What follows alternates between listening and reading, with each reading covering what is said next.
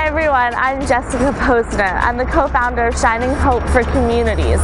We run the first tuition-free school for girls in Kibera, which is Africa's largest slum, and also run desperately needed community services.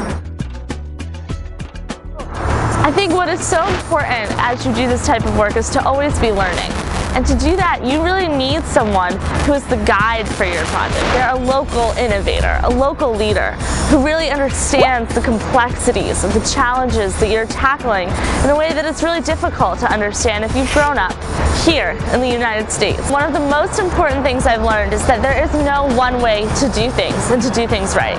And oftentimes I'll go into a situation and I'll really think I have this like great idea or I have this way to do something and then I'll talk to Kennedy, my co-founder. I'll talk to other people on the ground and realize that there's actually a way that is so much better than what I had thought about going in in because I had sort of come in with a really American viewpoint and had an idea that would work great here in the US. But when you implement in Kibera, it just doesn't translate.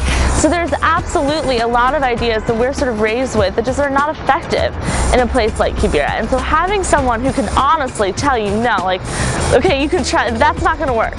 And being able to hear that, you really need, you want people to tell you that it's not gonna work. Because then you can really find a way that it will.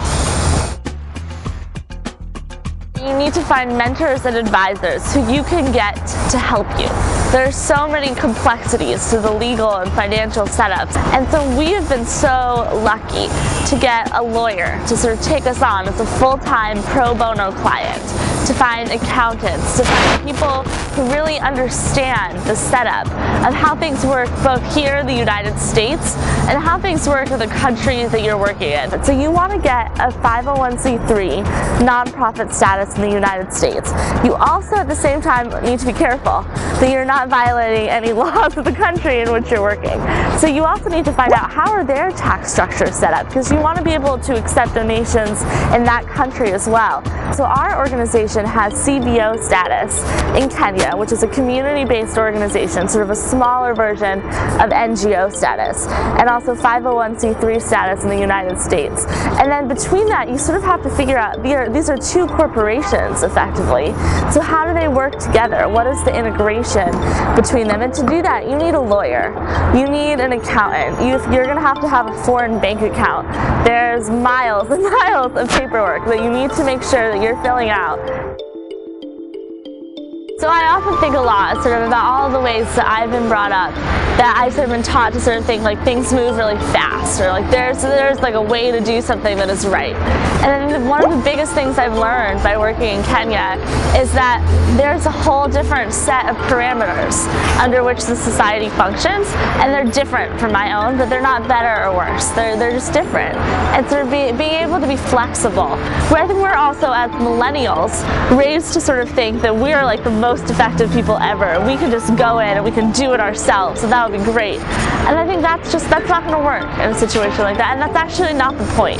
Because the point of setting up an international organization is to really empower local people to solve their own issues and to play a role in, in, in that process. Uh, another really important thing is if you're serious about this, you need to ask yourself, do I speak the language? I worked really, really hard to become fluent in Swahili and that is plays such an important role in my work. So investing the time to sort of put the structures in place that support your work, like learning a language, like living in the country for a, a long time before sort of launching something is important. I guess now I've been told to say something in Swahili, so I'm going to say thank you for listening and now go and do something. So asante sana na shukuru naenda kufanya kitu.